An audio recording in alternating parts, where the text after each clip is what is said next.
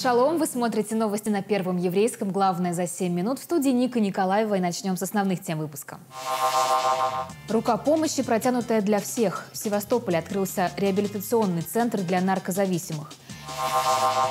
История движения еврейских отказников в СССР. Члены Кнессета посмотрели документальный фильм Аркадия Когана. Праздник, который всегда. Кирьят Ям отметил 70-летие Израиля. Ученые Тель-Авивского университета совершили прорыв в диагностике раковых заболеваний. Они разработали датчик, который заставляет светиться пораженные клетки. Вещество, которое вводит в организм, позволяет определить границы опухоли прямо во время операции. Таким образом, хирурги смогут эффективнее обнаруживать и удалять злокачественные новообразования без повреждения здоровых тканей. Проведенные испытания на мышах показали рост 120-дневной выживаемости до 80%. И в продолжении темы медицинских инноваций – Израильские военные совместно с медиками разработали браслет для диагностики состояния здоровья солдат Сахала. Он будет передавать информацию о пульсе, частоте дыхания, уровне кислорода в крови и давлении военнослужащих на штабной компьютер. Разработка позволит удаленно следить за состоянием раненых солдат и за качеством оказанной им медпомощи в полевых условиях. В Севастополе в поселке Андреевка открылся Центр помощи зависимым от алкоголя и наркотиков. Он стал первым стационаром в рамках антинаркотической программы «ФИОР». Одновременно в центре реабилитацию могут проходить до 35 человек. Высококвалифицированные специалисты в области психологии готовы помочь каждому, кто оказался в трудной ситуации, вне зависимости от национальности и вероисповедания.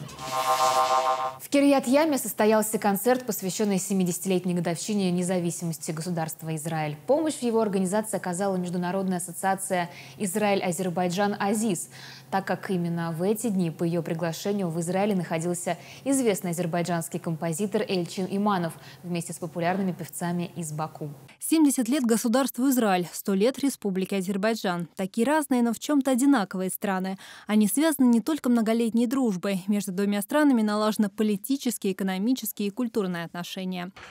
Первое действительно серьезное, крупное мероприятие, которое сделал Азиз, был Дни культуры горских евреев в Израиле. При поддержке фонда «Стмеги» горские евреи с самого создания Израиля, они присутствуют в Израиле. Еще и до того, как Израиль был создан. Я хочу сказать, что пребывание наше в Израиле не всегда было легким. Я, когда 27 лет назад приехал в Израиль, горские евреи жили хорошо, но не очень благополучно но мы за 27, до 28 лет сделали большой прыжок вперед. В Израиле проживает около 80 тысяч евреев, выходцев из Азербайджана, а в Азербайджане 15 тысяч евреев. Сильна связь и в искусстве. Сегодня на одной сцене лучшие голоса Израиля и Азербайджана.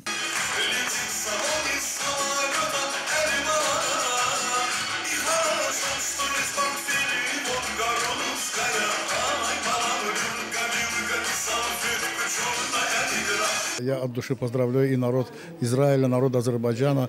Э, желаю всем мира, добра. Э, очень тепло нас встретили на земле обетованной. Очень прекрасная аура, очень прекрасная природа, прекрасные люди. Я желаю, чтобы всегда в Израиле были такие знаменательные дни.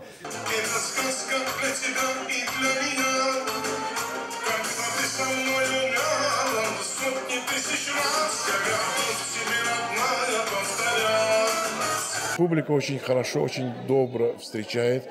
И это все-таки э, очень душевная публика.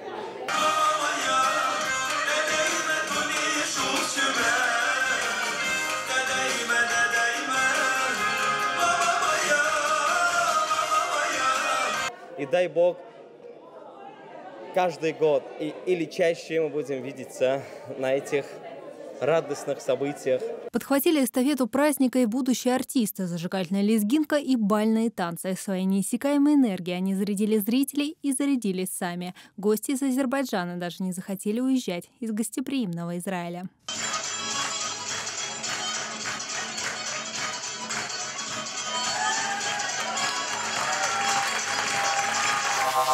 От рабства к свободе. В Кнессете состоялась премьера документального фильма Аркадия Когана о борьбе советских евреев за право возвращения на историческую родину.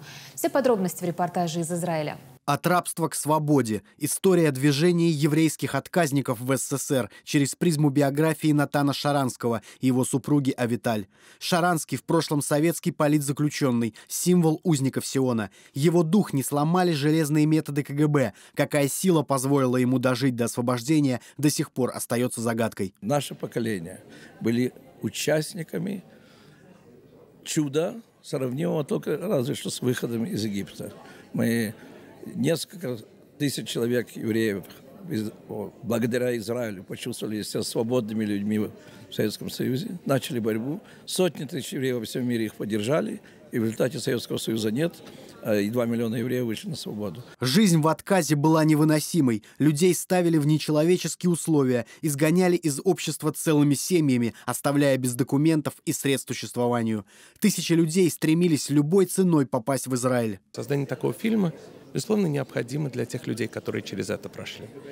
Безусловно, необходимо для нас, которые знают эти истории, или, по крайней мере, знают их большей частью. Но еще более это необходимо для молодежи, для детей, для подрастающего поколения, которые, может быть, их не слышали вообще. Режиссер-документалист Аркадий Коган работал над фильмом два года. Найти ответы на многие вопросы ему помогали бывшие сотрудники КГБ, советник президента Картера Стюарт Айзенштадт, Равин Эли Садан и бывший посол Израиля в ООН Беньямин Нетаньяху. Эта история очень мощная, и она э, рассказана участниками и очень эмоционально. Поэтому хотелось сохранить не только информацию, но сохранить эмоции. Для этого нужно нек- некоторое пространство. Премьеру посетили представители власти и общественных организаций, депутаты Кнессета и юные репатрианты, участники программы на Алле. В ноябре фильм «От рабства к свободе» покажут по девятому каналу израильского телевидения. Это все новости на сегодня. Всего вам доброго. Оставайтесь с нами.